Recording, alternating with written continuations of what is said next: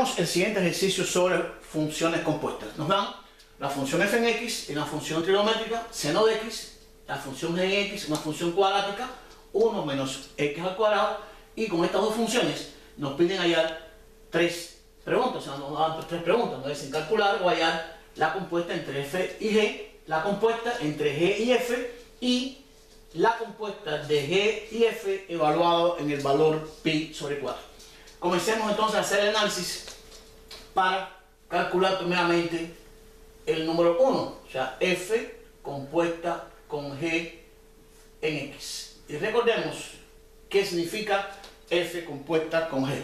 f compuesta con g en x no es más que f, que es la función exterior, evaluada en la función interior, donde si esto acompañamos mediante un gráfico, que sería la idea de lo que estamos haciendo, estamos trabajando dos conjuntos, donde en este caso vamos meramente a aplicar G y después aplicar F. Aplicamos G en dos conjuntos, A y B, y F de un conjunto B a un conjunto C. Y la que iría desde A hasta C sería para nosotros la compuesta entre F y G. Quiere decir, cuando hablamos de F compuesta con G, primero aplicamos la función que está más a la derecha, que es la función interior llamada G, y posteriormente la función F. ¿Qué estamos significando? Que a cada X, en este caso de G, le corresponde una imagen en X, y esta G en X a su vez se va a transformar en una imagen para F, o sea, un F en G en X. Entonces, la compuesta entre F y OG va a ser igual al exterior, que es F evaluado al interior. Sustituyendo, nos quedaría la función exterior evaluada y para no cometer errores, hacemos lo de siempre. Sustituimos la expresión de la función interior. que es la función interior? g en x y g en x no es más que 1 menos x al cuadrado. Lo que hemos hecho es sustituir la función interior por la expresión a la cual está representada. Y ahora vamos a sustituir f, en este caso evaluándola en el valor 1 menos x al cuadrado. Ahora evaluamos f en esta expresión. Y recordemos sencillamente, usted dice f en pi sería seno de pi, f en pi sobre 2, seno de pi sobre 2, y f en x sería el seno de x. Entonces, el f evaluado en este valor sería entonces el seno de la variable x evaluada en esta expresión, de 1 menos x al cuadrado. Y aquí tendríamos la expresión que hemos determinado para el desarrollo de la compuesta entre f y g tomados en ese orden. f compuesta con g.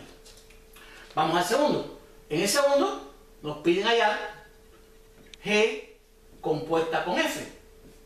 Y habíamos planteado que la compuesta entre f y g no necesariamente va a ser igual a la compuesta entre g y f. En general son distintas. Entonces, ¿cómo determinaríamos G o F? En este caso, G sería la función exterior. Sería la función exterior evaluada en la función interior, que sería f en x. En este caso, lo que hemos hecho es lo siguiente. Hemos aplicado una mera función que comenzamos por la función interior. En este caso sería la función f. Y después aplicamos una función exterior, que es la función g. O sea, a cada x le corresponde una imagen en F y esa imagen en F se convierte en una imagen o un rango para la función G.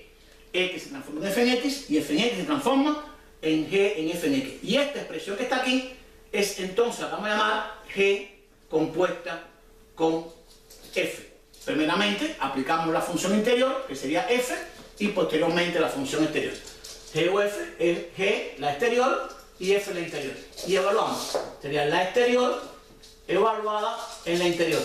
Y vamos a sustituir la función interior. La función interior de la sería f en x, que sería seno de x. Y nos quedaría g evaluada en seno de x, donde quiera que esté la x en g, la vamos a sustituir por seno de x. Y nos quedaría 1 menos, esta x se convierte en seno x, pero esa x está al cuadrado, sería seno cuadrado x. Y por la identidad trigonométrica, sabemos que el seno cuadrado de alfa más el coseno cuadrado de alfa es igual a 1. Por ende, si despejamos el coseno cuadrado de alfa, sería 1 menos el seno cuadrado de alfa. Y yo tengo 1 menos seno cuadrado de x. Por lo tanto, esta expresión, mediante la entidad geométrica, sería coseno cuadrado de x. Y hemos hallado la compuesta entre g y f. Y como vemos, la compuesta entre g y f no es igual que la compuesta entre f y g.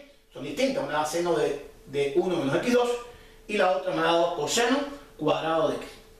Y queremos ahora en el tercer caso, en el número 3, vamos a escribirlo aquí, cabe perfectamente, en el 3 queremos hallar esa compuesta G o F evaluado un valor particular, en pi sobre 4. ¿Qué vamos a hacer entonces? Sustituir en esta compuesta, que es esta expresión, el valor pi sobre 4 para la variable x. Nos quedaría coseno cuadrado de pi sobre 4. Y esto nos quedaría un cálculo trigonométrico, el coseno de pi sobre 4 en la tabla trigonométrica es raíz de 2 sobre 2, pero este coseno está al cuadrado. Por lo tanto, nos quedaría raíz de 2 sobre 2 elevado al cuadrado. Aquí podría simplificar, decir raíz de 2 al cuadrado sobre 2 al cuadrado por las propiedades de las radicales. Aquí nos quedaría raíz de 2 al cuadrado, simplifico y me daría 2. 2 al cuadrado es 4 y simplificando obtendríamos un medio. Este es el valor de la compuesta GOF evaluado en el valor pi sobre 4.